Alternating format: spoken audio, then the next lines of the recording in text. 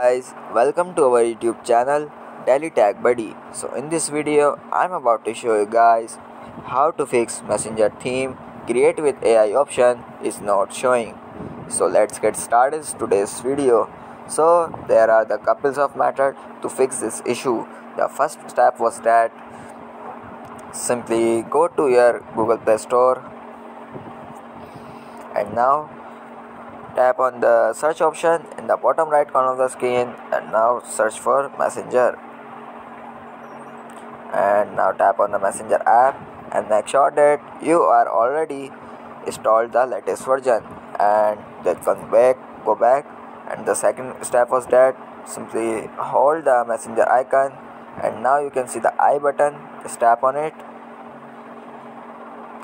And now tap on the storage usage just clear the cache and clear data and then tap on delete.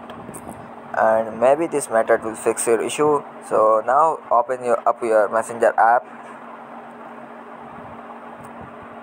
and then go to any chat of the person. Let's simply go to the first one. So tap on the icon of the this is uh, this person. And now you can see the theme option. Just tap on it and now as you can see create with AI option is available now.